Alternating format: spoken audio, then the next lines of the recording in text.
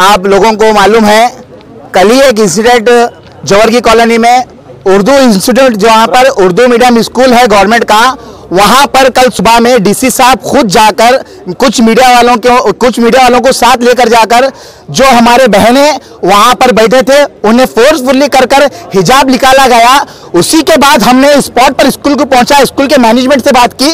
वहाँ पर सर्कल साहब भी थे। हम सर्कल साहब को ऑर्डर कॉपी बताया। हाईकोर्ट का जो एंट्री ऑर्डर हुआ है, वो बताया है कि जो CDC committee college development committee जो प्रिस्क्राइब करिए, पहले से जो हिजाब नहीं तो हिजाब नहीं आना। जहाँ पर हिजाब पहले से पहनते वहाँ हिजाब पहन कर जा सकते कोर्ट का ये इंट्रीम ऑर्डर आया है। उसके बाद ये लोग क्या कर रहे हैं? कोर्ट का ये ऑर्डर आने के बाद कोर्ट का वायलेशन कैसा कर रहे हैं? स्कूल पर जाकर छोटे छोटे बच्चों को हिजाब निकालने के लिए कहा जा रहा है।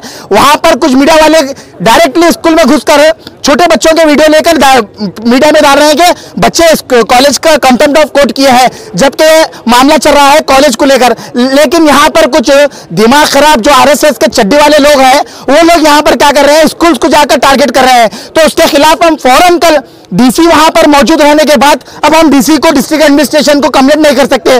क्योंकि डीसी खुद चार दिन हुआ आकर और ऐसे अपनी चाल बताना शुरू करे हैं। तो फ़ौरन हम आरसी आरसी साहब के पास चले गए रीजनल कमिश्नर के पास। रीजनल कमिश्नर कमिश्नर साहब के पास जाकर हम खुद एक हाईकोर्ट का जो इंट्रीम ऑर्डर था, वो बताया रीजनल कमिश्नर साहब को कि साहब यहाँ पर डीसी साहब ऐसा जाकर ऐसा ऐसा करें हैं, आप स्ट्रिक एक्शन लो। तो रीजनल कमिश्नर कमिश्नर साहब इमीडिएट हमें हमें बोले हैं कि मैं डीसी से बात करता हूँ, देखता हूँ। वो दिन हम चले गए, कल का दिन चले गए, हम हम ज़रा आराम से रह के आने वाले कल से ये चीज़ नहीं होगी। लेकिन कल का एक दिन नहीं जाता, आज सुबह में फिर से न्यूज़ आती है।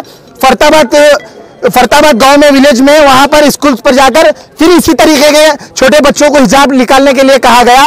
तो फ़ौरन हमें सुबह से कॉल्स आ रहे थे वहाँ से। तो हम ये प्लान किया कि हम डीडीपी डीटीपीआई से मिलेंगे, क्योंकि इनको पावर रहता है डिस्ट्रिक्ट के डीडीपीआई है। तो आज हम डीडीपीआई ऑफ़िस के सामने प्रोटेस्ट किए हैं और इन्हें भी ऑर्डर कॉपी नहीं मालूम डीडीपीआई को भी क्या हो रहा है, इन्हों भी बोल रहे हैं कि हम मैं फ़ोन पर देखा था सोशल मीडिया पर देखा था मीडिया पर देखा था कि ऐसा ऐसा ऑर्डर है। साहब, आप भी ऑर्डर ऑर्डर कॉपी पढ़ना था तो उसी, उसके लिए हम इनको ऑर्डर कॉपी देकर और आप लोगों के पास वो वीडियो भी है। हम ऑर्डर कॉपी उन्हें खुद पढ़ाए हैं कि ये कॉलेज के लिए है कॉलेज डेवलपमेंट कमेटी के लिए है। तो अभी हम आपको तयखुन दिए हैं डी पे कि आज से फिर ऐसा नहीं होगा और गुलबर्गा डिस्ट्रिक्ट के जो जो स्कूल्स हैं वहाँ पर स्कूल के प्रिंसिपल को स्कूल के मैनेजमेंट को ये आप फॉरन इंटीमेशन दीजिए कि स्कूल पर ऐसा हमला ना किया जाएगा। पुलिस डिपार्टमेंट किस तरह का रोल निभा रहा है? हाँ मैं आपको पुलिस डिपार्टमेंट का भी कर रहा हूँ कल हम इमीडिएट जो स्कूल को गए थे हमें अंदर आने नहीं दिया गया। पुलिस वाले बाहर थे लेकिन वहाँ हम जब देख रहे हैं तो हमारे सामने से इलेक्ट्रॉनिक मीडिया वाले ऐसा आ रहे हैं कि स्कूल के स्टूडेंट्स हैं वो ऐसा पढ़ के स्कूल से आ रहे हैं वैसी हालत में स्कूल के वो लोग हम जब जा रहे हैं तो अंदर हमें रुक, हमारे को रुका गया। उसके बाद हम सर्कल साहब से बात के बात करें तो सर्कल साहब बोले कि ऐसा कुछ नहीं हुआ। उसके बाद हम देखते हैं कि मीडिया में पूरे रिज़ल्ट चलना शुरू होते हैं कि बच्चों को हिजाब निकाला जा रहा है बच्चों के क्लियरली हमारे जो छोटे बहनें हैं उनके क्लियरली वीडियोज़ को उनके फेस को ब्लर भी नहीं किया गया। वैसी वीडियो वीडियो वैसे वीडियो चला रहे हैं कि ये लोग कोर्ट का वायलेशन करे हैं। खैर कल का जो मामला था रखा, हमने आरसी साहब के सामने भी रखा और पुलिस डिपार्टमेंट। आज का जो है, कल हमें सर्कल साहब यहाँ पर हैं। सर्कल साहब कल हमें कहे थे कि हमारी ड्यूटी ये नहीं है, हमारी ड्यूटी सिक्योरिटी के लिए है।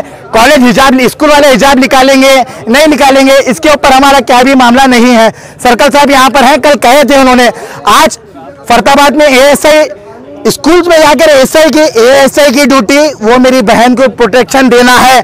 उसका काम ये नहीं है कि उसके सर से हिजाब निकाला जाएगा। उसके बावजूद भी वो एएसआई दरिंदा ऐसा काम करता है तो इनशाला उसके ऊपर एफआईआर, हम डीडीपीआई साहब को बोले हैं कि आप अपनी तरफ़ से वो एएसआई के ऊपर एफआईआर करें। अगर आप उसके ऊपर एफआईआर नहीं करते तो हम आपके ऊपर, यहाँ पर आकर प्रोटेस्ट कर कर आपके ऊपर एफ़ आई कराने का काम हम करेंगे।